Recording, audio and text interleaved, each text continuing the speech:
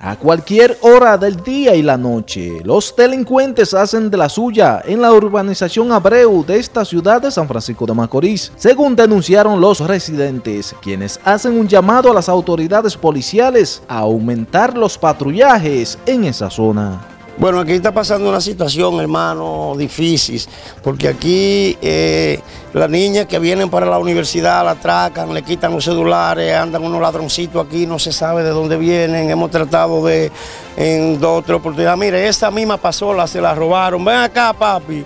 Esa misma pasola se la robaron, la sacaron de la marquesina, de aquí se llevaron un motor. O sea que la situación aquí es un poco difícil, un poco difícil, muy difícil aquí.